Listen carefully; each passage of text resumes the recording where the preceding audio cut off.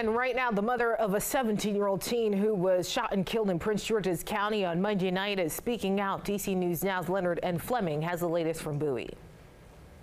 Well, Juanita Wallace says that she's devastated about the death of her son. Rashid, she says, was liked by just about everyone.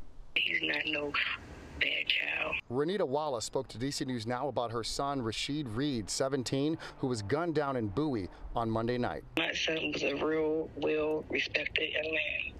And he, had his ups and downs days. But Wallace says that her son lived his life having fun. He was a funny, funny kid. Oh, he stayed always smiling, always smiling, crack jokes, and just always laughing. You know, he's a playful, big, jolly kid, like a teddy bear. Prince George's County Police say Rashid was shot around 6:30 p.m. in the 900 block of Lake Overlook Drive, just a short walk to his home.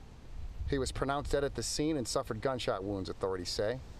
Several neighbors who declined to go on camera tell DC News Now that this is a very peaceful area. It's very surprising. Anthony Underwood says he's in shock that there was a shooting in his housing development. I've never heard anything going on around here as far as shootings or anybody getting robbed or anything per se like that. So hearing someone that got shot and killed is very alarming to me.